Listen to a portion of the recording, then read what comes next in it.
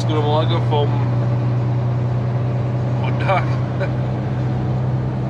ja, wir sind jetzt gerade unterwegs zum Axel Baustelle. Und mir, ich alleine.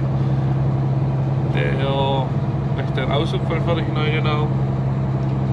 Ja, die letzte oder Sonntag Frühling im Städtle, ich habe nicht wirklich was gefilmt. Äh, war einfach nur Pisswetter. Ist aber blöd, blöd gelaufen. Heute scheint wieder die Sonne. So ist halt wahrscheinlich erkältet habe ich wahrscheinlich auch. Äh, ja, alles richtig gemacht. Gut, ich sag mal, das mit Bagosch ganz gut angekommen mit dem, mit dem Geschicklichkeitsspiel. Äh, ja.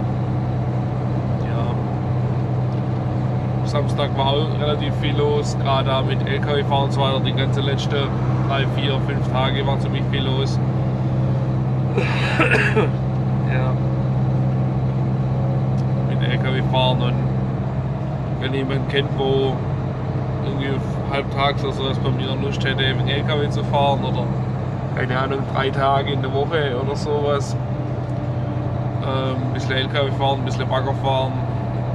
Wäre echt gern gesehen, weil ja, ich will ja eigentlich gar nicht die Baggerarbeit und so weiter anbieten. Das ist ja eigentlich will jetzt halt Konkurrenz, aber mit einem Mitbewerber von meiner Kundschaft, was ja eigentlich dämlich ist. Ich habe die damals nur gekauft zum Vermieten, die Baumaschine oder die Bagger. Und äh, ja, mittlerweile ziemlich viel mit Fahrer und so weiter. Und das ist ja eigentlich gar mein Hauptding, die Baggerarbeit. Ich habe es ja auch nie gelernt oder so weiter. So ein paar grundlegende Sachen bringe ich schon hin, ja. Aber dass ich das sagen kann, dass ich vom Fach bin, bedingt, sage ich einfach mal. Ähm, ja, der Basti macht heute morgen nochmal UVV an der Hebebühne, Oberarbeitsbühne. David tut die neueste Wirtbestellung einräumen. Kann ich Ihnen noch kurz zeigen, was da so gekommen ist. An Kleinteile wieder. Dann haben wir jetzt wirklich alles, man muss so schön sagen, in Stock ganze Kleinteile, Schrauber, Normteile. Ja, der macht den Anbauverdichter noch vollends fertig. Ähm, ja, sonst steht die Woche noch an. Steht einiges im Notizbuch drin bei mir. Schauen wir was die Woche so bringt. So viel davon. Bis dahin.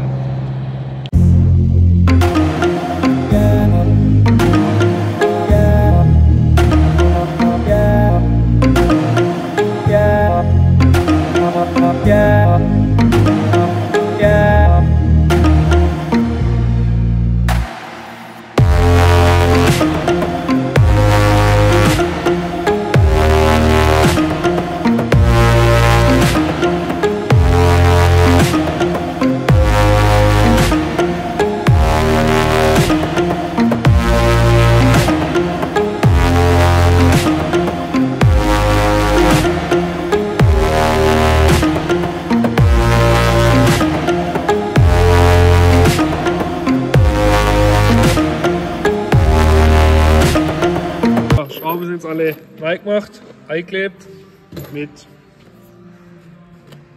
hochfest. Wer die rausmachen muss, arme Sau. Hoffentlich nicht mir. Ähm, jetzt kommt wieder die Hydraulik da drauf von dem Ölquick. Jetzt werden wir einen verschissenen Einschrauber, wo kein Mensch hat, in Baden-Württemberg, Deutschland, sonst irgendjemand, doch bei Granit noch liegen, in äh,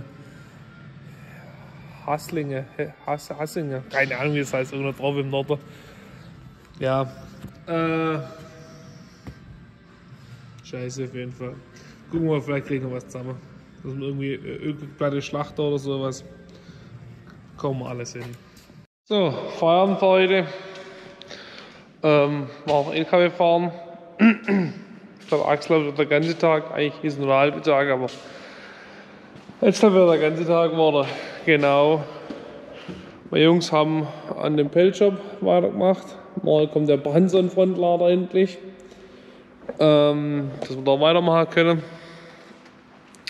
Fürs Ölgewick ist halt auch alles voll ins Kommen.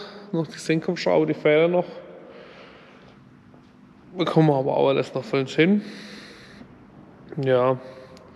Basti war heute an einem Gasstapler draußen unterwegs. Da ist der Zinnverteiler verschlossen und so weiter. Ähm, ja. Dann morgen macht er davon weiter. Ähm, da bin ich ja endlich wieder im Büro, was dringend notwendig ist. Ja. Sonst schon irgendwas zu erzählen? Eigentlich nicht. Halsweh habe ich, wundert ja niemand. genau, so viel mal davon. Euch auch, schönen Abend. Bis morgen. So, immer wieder nochmal. Ich habe was ganz vergessen. Vielen Dank nochmal Jens an der Osterhase. War lecker. Sind jetzt auch wieder alle da. Und da haben wir jetzt auch wirklich, uh, gerade hinum, wirklich von bis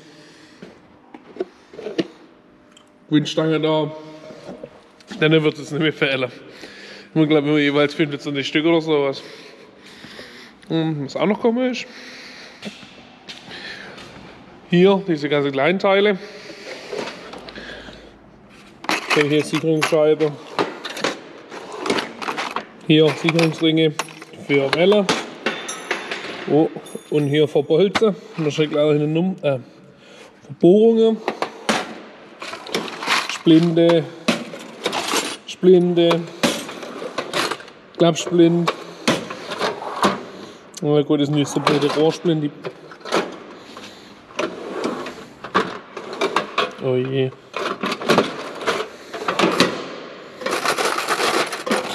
Das ist schon ganz schön gut voll da, ne? Oh, scheiße. Normale Blindstecker. Oh, ist doch scheiße. Da kaufst wird, dass die Verpackung passt und was ist? Aber jetzt geht nicht mehr auf. Hier auch nochmal ein großes Ganze.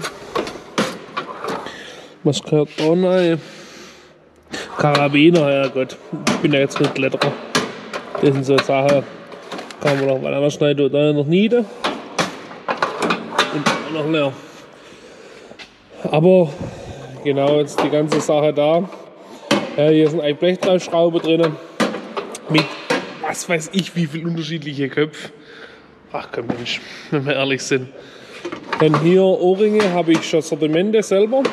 Brauchen wir auch nicht. Kupferring haben wir komplett aufmunitioniert. Von bis, also wirklich und da soll es nicht mit drauf wählen. Da fehlen noch ein paar einzelne Einheiten. Genau, Schmiernippel haben wir vorher schon da gehabt. Dann wieder spezielle. Dann Usidringe, auch immer ziemlich wichtig in der Hydraulik auf jeden Fall. Oh, was ist noch alles gekommen? Schlauchstelle, die haben wir schon länger. Genau. Dann hier strotzen wir glaube ich relativ mau und ist ja ähm, ist quasi ja so, dass ja viele Schubladen noch leer sind. Also das kommt dann nach und nach. Ich habe noch ein paar Sets bestellt bei Kramp. So spezielle Ohrring, Welle, ähm, Kettenschlösser. Ja, aber ich sag mal so, jetzt haben wir halt irgendwas da. Weil wie nervig ist das, wenn so ein scheiß Sicherungsring hier irgendwo durch Weltschichte zu fahren und dann erst nicht das bekommen, was man braucht. Wie nervig ist das? Ultra. Und kostet auch sehr, sehr viel Geld. Weil das Problem ist, ne. Das Problem ist, das Ding kostet 4 Cent oder was weiß ich im EK. Oder lass, lass ein Euro sein. Ähm, ja. Wenn sie da hast, immer gleich Scheiße, eine halbe Stunde ist immer gleich ein Sack, wenn irgendwo irgendwas holen musst. Und Deswegen, weil ich eigentlich relativ viel da habe und gerade für Kunden, wenn sie sagen, oh, du hättest schon noch ein paar Schrauben, dann sage ich, na klar, habe ich noch ein paar Imbusschrauben M10x80, wie viel brauchst du? Oder sage ich, hm, äh, ja, ich habe bestimmt noch ein paar M16x80 da, Sechskantschrauben, kein Problem. Das sind halt solche Sachen, wo ich Wert drauf lege, dass sowas da ist, dass wir äh, schaffen können, dass es da keine Komplikationen gibt. Genau, man kann nie alles da haben, auf gar keinen Fall, aber ähm, sehr viel kann man da haben und will ich halt da haben. Und dass es auch funktioniert, dass man es da hat und sofort einsetzen kann. So viel mal da davon zu der kleinen Exkursion hier. so, servus zusammen. Ähm, jetzt habe ich gerade noch ein Mulder geholt vom Klaus. Muss man auch noch äh, unterbringen, entsorgen. Genau. Ähm, heute war ja eigentlich noch der ganze Tag im Büro. Echt viel liegen geblieben die letzten Tage. Ähm, ja, der David hat die Oku-Platte für uns fertig gemacht. Da ist das Problem, da fällt ein verschissener Einschrauber noch ein ORF 1.3-16 12 Zoll. Äh, das sind so Teile, wo niemand hat. Ich habe wirklich alle abtelefoniert. Ich habe der Walz angerufen, wo ich echt auch schon viel da hat, wo meine zwei Kerle da äh, gesagt haben, sie bei Leonard Preis sind da immer viel Gold. Der hat leider auch nichts da. Rühle hat nichts da. Äh, ja, wirklich jegliche Kundschaft abtelefoniert. Was heißt Kundschaft? Äh, bekannte Unternehmen, Hydrauliker. Gibt einfach nichts auf Lager. Ist auch nicht gerade gängig. Ähm, ja, sonst immer noch voll ins fertig gebracht. Jetzt hoffen wir mal, dass es morgen kommt. Das hätte eigentlich heute schon kommen sollen. Ja, momentan wieder Lieferzeiten. Ich brauche die Urlaub jetzt nicht weiter voll zu heulen. Ähm, an den Volvo-Bagger haben wir weitergemacht. Da haben wir ähm, den jetzt wieder abdichtet und so weiter gemacht, dass wir da zwei Versuche testen können, wo hoffentlich irgendwann mal mit Erfolg gesät sind. Ähm, sonst es eigentlich nicht so viel zu erzählen. Der Axel hat dann mal ein bisschen Beton gebracht und wir wieder aufbereiten und recyceln. Ja, vielleicht mache ich demnächst mal noch eine äh, Instagram-Umfrage. Und zwar gerade Richtung äh, Siebanlage. Da bin ich, beschäftige mich schon eine Weile damit, ob man da vielleicht was her tut oder was nicht. Mir hat ja mal geschwätzt vom, oder ich habe ja mal eine da gehabt, also eine kleine, die war mir eigentlich zu klein. Ja, das ist die Frage, wie wir da weiter vorgehen, was wir da, wie man da vorgeht. Weiß ich selber nicht so ganz. Ich gehe zu viel ins THW. Mal jetzt Feierabend um äh, halb acht. Ist auch ziemlich schön lang hell. Ist das Gute dran. Ja, so viel mal da davon. Und morgen werde ich vielleicht wegen Zeit drauf machen von dem Brandson, wie wir da den Frontlader voll machen ähm, wird es vielleicht da im V-Log dann ein bisschen ähm, begleiten. Also nicht, nicht V-Log, sondern hm, wie nennen wir das neue, neue Programm oder neue, ähm, neue Format, was wir machen. Ja, man baut ganz wichtig, dass er drauf ist, gell? Mario, das siehst Mario ist nicht Mario. Und eure Konzerte da drauf. Müssen wir auch noch schwätzen über dein ähm, Planierschild für dein Bobcat da noch was noch bekommen. ähm, ja, wie das neue Format nennen. Geschichte aus ein paar. Keine Ahnung. Äh, was fällt mir da so spontan ein? Vielleicht habt ihr eine Idee. Schreibt es auf unten, unten in die Kommentare rein. äh, ja, keine Ahnung. Einfach vielleicht die Reparatur, wenn ich jetzt neu schreibe. Ähm, M-Betrag, Zylinderkopfdefekt, Reparatur, Ursache, irgendwie sowas vielleicht, oder? Genau, dann nicht einfach so mit V-Log aus der Werkstatt so getönt, dann nicht mit vorne hin, sondern einfach nur, was ist, was passiert ist, Gebert stellt vor oder GLB, also Gebert Land- und Baumaschine, präsentiert. Nee, präsentiert er auch nicht. der Kunde präsentiert es ja uns, dann müssen wir gucken, dass wir es wieder hinbekommen, aber wie im meisten Fall schon. Ja, das ist mal Fakt soweit. So viel mal da davon. Bis morgen. Schöner Abend. ähm, von da der Stab für den Branson. Jetzt endlich Schaufel. Ein ganzer Speiskübel voll mit Zubehör. Steigerät, was weiß ich nicht alles. Ja, ähm, tun wir dann morgen montieren dass der dann fertig wird. Was, die macht gerade noch einen Rasenmäher von meinem Vater. Äh, Ver Entschuldigung, ein Vertikutierer. Ähm, Ding voll Sinn. Äh, Ding voll Sinn, Tag, zack. Kundendienst, alter Sprit, riecht richtig alt, gell? Und dann tun wir unseren guten silikatfreien Sprit rein, wo dann wieder keine Probleme macht bei längerer Standzeit. Uh, hier vorne noch kurz. Anbauverdichter Straße verschlaucht. Hier, wie man sehen kann. Jetzt fällt hier bloß noch so unsere blöde Stutze hier oben, dass wir es voll fertig machen können. Das ist was ziemlich Spezielles. Irgendwo das können wir so lassen. Sieht ganz ordentlich aus. Genau, soweit mal da davon. So, hier, guten Morgen vom Dienstag, ne, Mittwoch ist heute. ähm, David macht dann jetzt noch schon den Ölwechsel, was noch fällig ist. Weil da kommt man sonst blöd nach. Wenn dann die Konsole voll dran ist, machen wir das gleich vorher geschwind. Eine Konsole ist schon dran, dann kommen wir noch die Unterzüge nach. Äh, vorne der Bügel. Drüber Konsole ist auch schon dran. Zwei Tage war halt gemacht. Da kommt der Unterzug, der was da noch nicht kommt, noch nach. Genau. Ähm, dann Hydraulik ist ja, ja alles soweit selbst gelernt, sag ich mal. Sogar mit Kabelbinder und allem. Hey. Ähm, immer halt mal halber Zahnarzt, das wäre noch keine spundene Schuhe. Wegen Macke von mir. Äh, Oberverdichter ist fertig endlich. Mit dem scheiß ohne Einschraubstütze. Hat's ja noch gehoben. Ja. Genau. Soweit einmal für Mittwoch. Ja, ich will mit der David noch ein bisschen bei seinem Geschäft.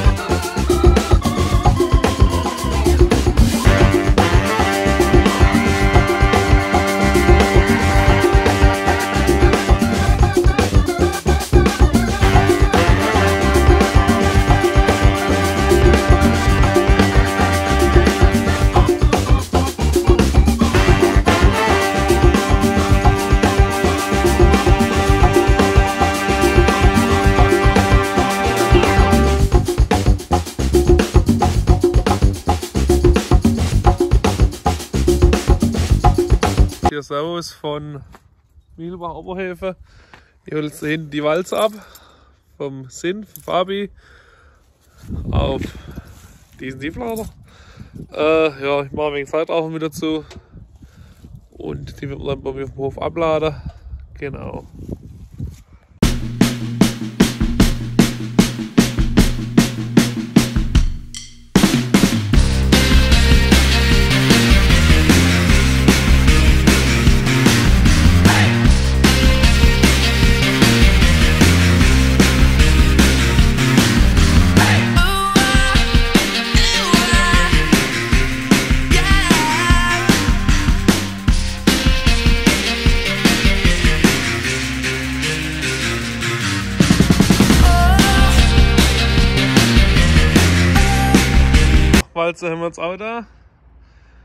Wir morgen gleich mal wegen der Walze den Scheißdreck. Genau. Naja, da haben wir. Gestern am Container hängen geblieben. Scheiße. Das fahren nicht genug Glotz, muss man noch ein bisschen ausbessern. Und das Ding wäre normal. Der Windspoiler, der ist sogar noch ganz, der ist schon mal verbrochen. Na, da hat ja schon mal einen Trigger gekriegt. Auf der ganzen Front da auch. Naja, ist ein Nutzfahrzeug und kein Ferrari. So, geschlagen David. Da kommen. Ah. Da ist unser neues Ölkabinett gekommen. Äh, endlich. Können wir das Ding aufbauen? Wird bestimmt gut. Oh, und da wieder zu aufgeräumt. Sauber Kette haben. Gefällt mir.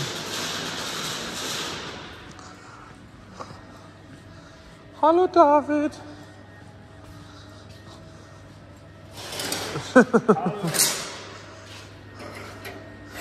naja, für Shabby Schicklook langst du, oder? Schön rostig muss sein. Alles ist richtig. Das ist gut. Ah, das ist so ein blödes Gartentischchen von meiner Tante. So blöd ist nicht, aber ja, ist nachher so geschäftlich, wo man machen muss. Jetzt haben wir da ein Blech aufgetrieben, so dass ein Heft dann gut ist. Das ist auch immer ganz wichtig auf der Baustelle. Der Dicke muss Walze fahren. Tja. Ja, du musst dich mal verdichten. Es geht so, ich gehe jetzt gar nicht mehr runter. Hätte gedacht, dass da mehr geht, aber das passt. Man merkt ja langsam, dass er langsam trinkt und danach wegen, also die Vibration zurückkommt, zurückblättert. Da ist das eigentlich gut vernichtet ist.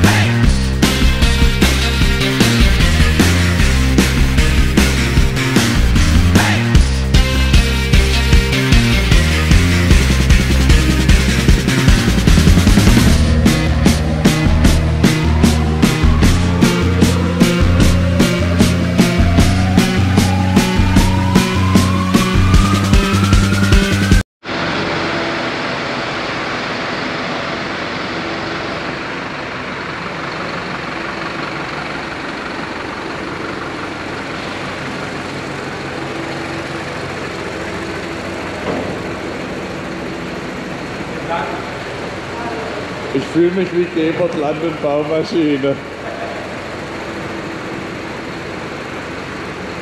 Ja, hier äh, habe ich gerade meinen Haus- und Hofelektriker. Ja, verdrahtet.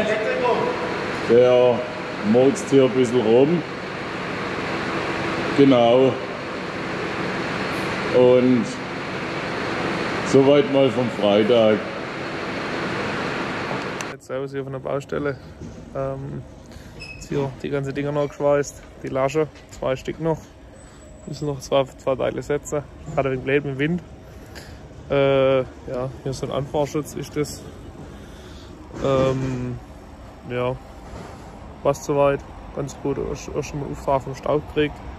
Freut mich schon, das zu hören. Muss ich warten, bis die die fertige Teile, die Teile dann noch versetzen. Und dann geht's weiter.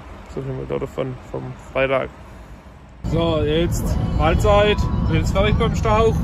Gerade noch schon Mittag gemacht. Dann habe ich die Gummikette aufgeladen für, der, für die Fröhlichs, für den Bagger.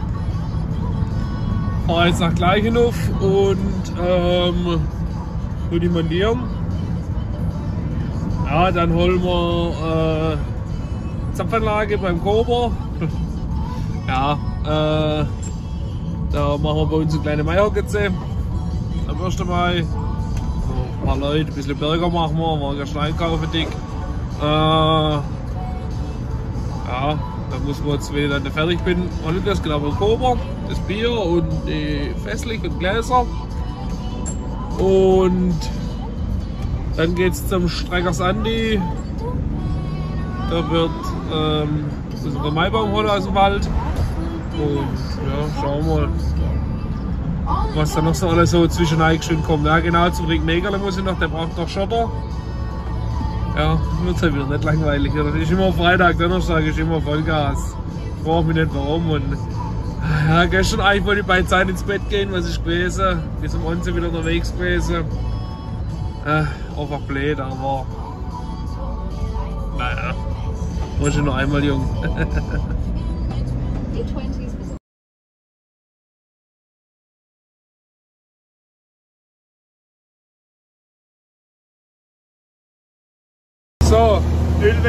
Gemacht. Jetzt fahren wir noch zum Ring Megerle, der braucht noch ein oder zwei Autos Schotter. Die tun wir jetzt auch noch schnell abliefern. Kerl sehe aus, Ringe bin ich auch noch. Ähm, ja, genau. Die neue Kette haben wir noch drauf gemacht, genau. Und sonst. 180 Liter Bier habe ich gerade noch geholt. Ah, geil. Äh, ja. So viel davon, fahren noch schon zurück. Ich weiß gar nicht, warum ich das jetzt erzähle. Das ist ja wahrscheinlich gar nicht. Denke ich doch mal. Morgen müssen wir Maschinen umziehen, wenn wir umgehen. Das ist eine Dreh, äh, Drehbank, äh, CNC-Fräsmaschine. Äh, mit, mit dem äh, LKW verladen. Genau. Da bin ich auch mit auf jeden Fall. Bis dahin. Ciao. Guten Morgen! Das So, Abend hier vom Samstag. Samstag Montage. Samstag Montage, Gebertland und Baumaschine. Wir sind jetzt hier gerade dran, äh, den Wagen zu laden. Wir haben hier diverse Spezialgeschäfte. Da ist aber dunkel. Unter anderem mit dabei Lenard Dumatisson, Und ja, Kevin Hintern, Gewert Land- und Baumaschine. Dein Hinterteil. hier Herr Kepler, grüß Gott. Dein Hinterteil. Ich hab den jetzt aufgebracht. Ja, Magic. Der, du, musst, du, musst, du musst unter noch reisen. Aber unten auch noch. Ja, aber. Eine neue Idee da mal. Gut. Chef ist auch dabei. Wieso geht es so voraus? Wieso seht ihr jetzt nicht? Guten Morgen Leute hier vom äh, Samstag. Geht gerade richtig ab. Gerade einen Auftrag bekommen für eine Bohrpfeilgerät zum Richten. In äh, Heilbronn rund an der Autobahn. Ist dort hat nicht Bluefehler, große Kaminsmotor drin. Schauen wir mal. Tester dabei, Multimeter dabei, ein bisschen Sachen zum Analysieren so dabei. Schauen wir mal, was da rauskommt. Bin echt gespannt. Auch ein bisschen aufregend für mich und äh, freue mich halt total, dass die mich angerufen haben. Äh, genau. Und dann geht es gerade weiter so. Die Sache verschlagen sich gerade ein bisschen. Äh, da muss ich nächste Woche an so einer, so einer Kalkfräse Ölwechsel machen, also so eine große Fräse an der Schlepper hinterher. Von der Firma Wirtgen oder von, von der Firma Wirtgen. Und da bin ich echt ein bisschen stolz drauf, was hier gerade so abgeht. Und äh, ich denke, das wird der Vlog um einige große Maschine, interessante Maschine äh, erweitern und bin Feuer und Flamme dafür. Se, ihr seht dann, an was ich schraube oder was ich da äh, diagnostiziere und ähm, was denn der Fehler ist, wenn ich ihn finde, was ich hoffe doch. Äh, genau.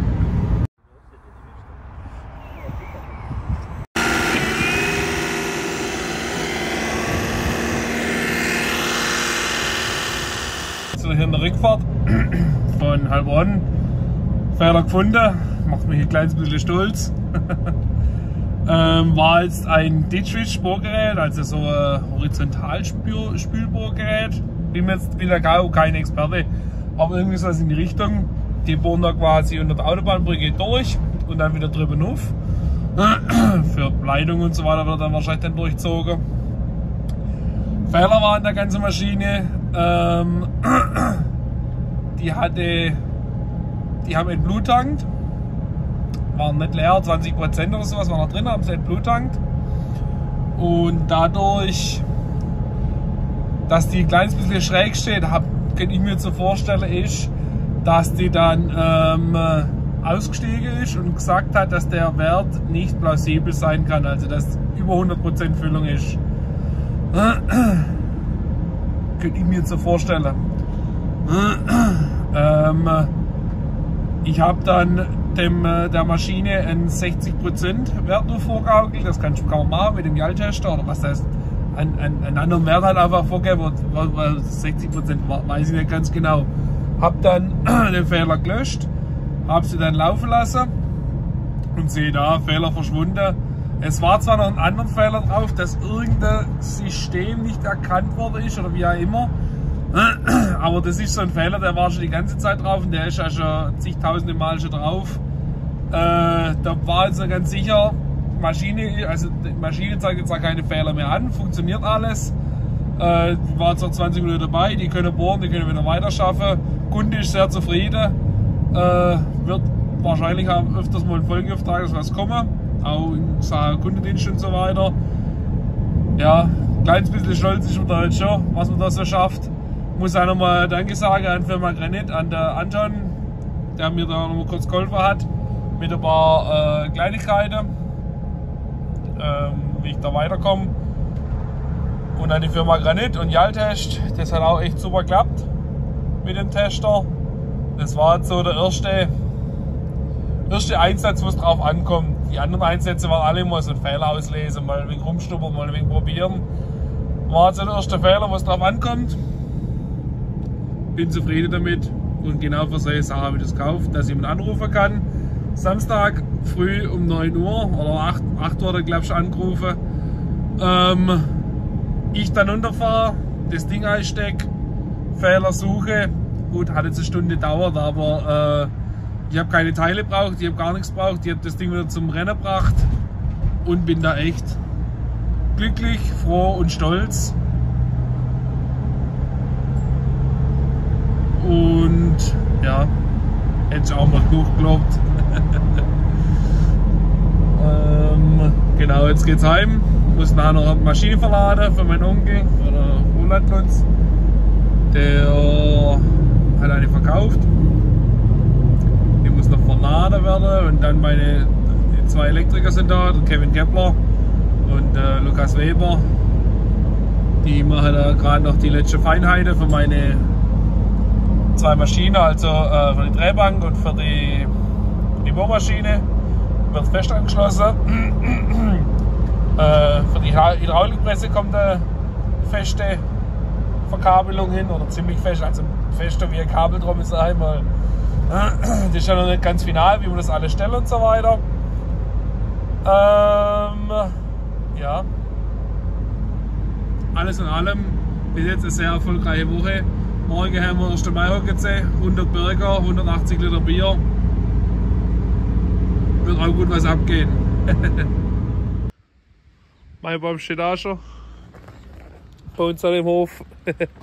Keine Ahnung, der wächst da ein wenig rum, aber ich glaube Birke. Äh, einwandfrei. Kann der erste Mal kommen. So wie es kehrt, standesgemäß. Baumstelle.